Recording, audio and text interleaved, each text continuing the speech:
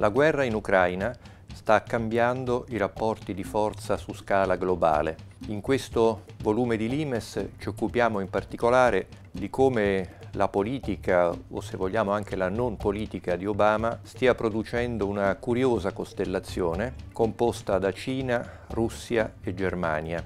Non a caso il percorso del Trans-Eurasia Express in costruzione che collegherà appunto le grandi città, le metropoli, il grande mercato cinese all'Europa, passando per il continente eurasiatico e in particolare anche per la Russia. Il cambio di gioco è avvenuto il 21 maggio, quando Putin, messo alle strette in Ucraina e sottoposto internamente a una dura critica per la perdita di Kiev, ha deciso di guardare a est e di rivolgersi al poco amato leader cinese Xi Jinping proponendo un accordo per la fornitura di gas siberiano all'industria cinese che comincerà nel 2018.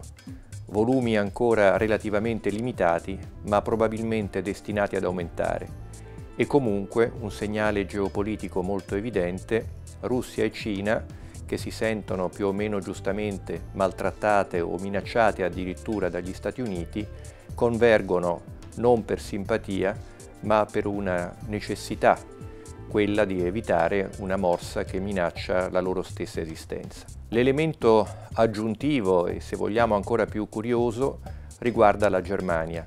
Già da alcuni anni qualcuno parla di Berlino come di un sesto BRIC, cioè di un paese che si è di fatto sganciato dal blocco occidentale per fluttuare liberamente nell'universo della geopolitica globale. Forse è una tesi affrettata, forse no, di certo i legami che si stanno intrecciando tra l'economia cinese e quella tedesca, oltre che quelli storici, soprattutto basati sul gas, fra Germania e Russia, fanno pencolare la nuova potenza tedesca sempre più verso est. La Germania, insomma, è sempre più mondiale e sempre meno europea.